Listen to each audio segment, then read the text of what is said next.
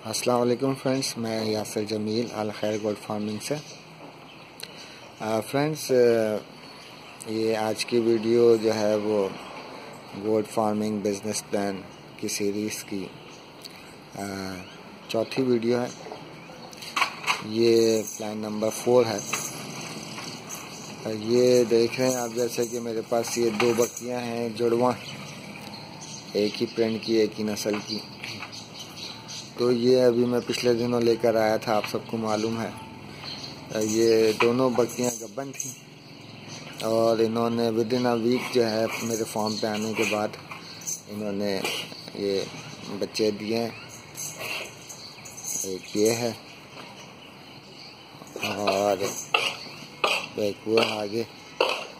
और एक बकरी के तो दो बच्चे थे, ये उसका भाई था, वो जो जा रहा है आगे, वो भी जा बेचारा मर गया। और एक बकरी ने ये जो है, बच्ची दी थी। तो ये विद इन अ वीक जो है, ये मेरे फॉर्म पे तीन बच्चों का इजाफा हो गया था, जो कि बदकिस्मती से एक का इंतकाल हो गया। तो एक प्लान ये भी है कि आप इसी तरह से गब्बन बकरियों की ख़रीदारी करें, मुनासिब रेट पर। अब ये दोनों बकरियाँ जो हैं मुझे सत्ताईस हज़ार की मिली। साढ़े तेरह हज़ार रुपये की एक बकरी थी।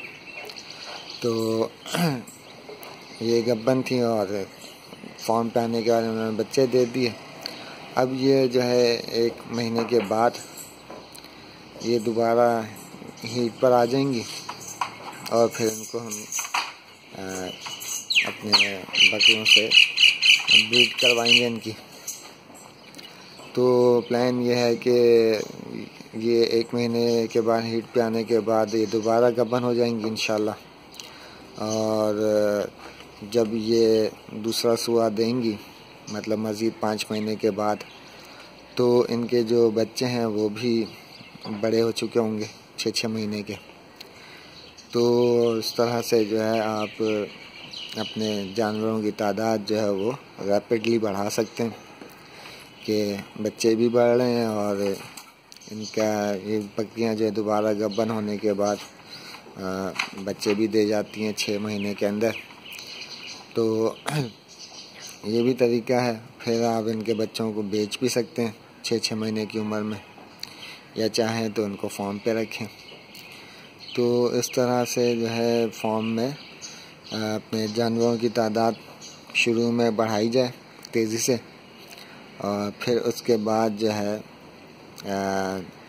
जो है, एक साल के बाद जो है फिर जब बच्चों की तादाद बढ़े तो उनको मार्केट में बेचा जाए। तो फ्रेंड्स, ये भी एक तरीका है, ये भी एक प्लान है। लेकिन इसमें एक चीज़ और भी है कि प्लान तो बहुत अच्छा है और मैंने इस पर अमल भी किया है, आप देख भी सकते हैं।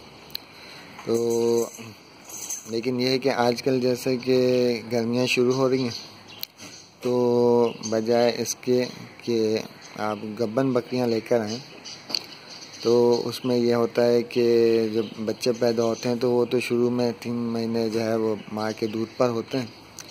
तो गर्मियों में क्या होता है कि बच्चे जो है वो दूध जो है मुश्किल से हज़म करते हैं। तो उनको जो है वो मोशंस वगैरह लगे लगे हुए होते हैं और उनकी मोर्टेलिटी के चांसेस होते हैं। तो इसलिए इन दिनों में जो है ये जो अभी सीज़न है मार्च का महीना ख़त्म होने वाला है तो अब क्योंकि गर्मी होगी तो इसलिए मैं प्रेफर नहीं करूँगा कि गबन बकरियों को लाया जाए।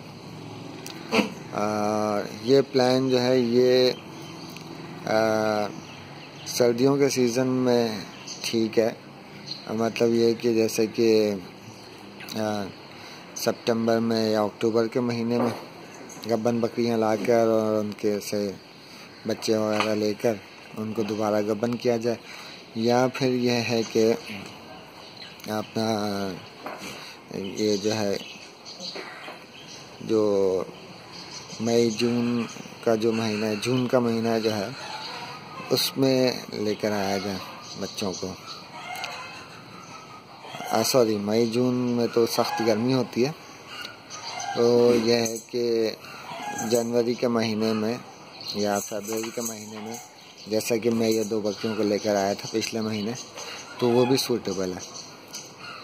तो अब जैसे कि गर्मियाँ आ रही हैं तो उसमें जो है मैं प्रेफर नहीं करूँगा। तो उसके लिए जो है, अभी मेरे पास एक और प्लान है। बिज़नेस प्लान नंबर फाइव उसमें मैं आपको सजेस्ट करूँगा। उस प्लान को आप ज़रूर देखें। तो इन ताला जो है आ, वो भी एक आसान तरीका है और अच्छा तरीका है बिज़नेस का गोड फ़ार्मिंग से। तो फ्रेंड्स उम्मीद है कि आपको मेरा ये आइडिया पसंद आया होगा और ये वीडियो मेरी पसंद आई होगी। तो इन ताला अगली वीडियो में मिलेंगे। अल्लाह हाफिज़